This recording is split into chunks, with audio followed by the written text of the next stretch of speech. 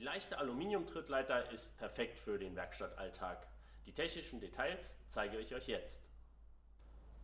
Die dreistufige Trittleiter ist 60 cm hoch und ideal für alle schwer erreichbaren Dinge in der Werkstatt.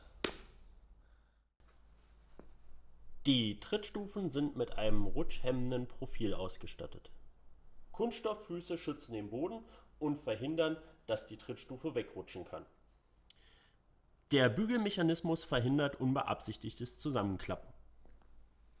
Die Trittleiter ist mit 150 Kilo belastbar und lässt sich nach Benutzung platzsparend zusammenklappen.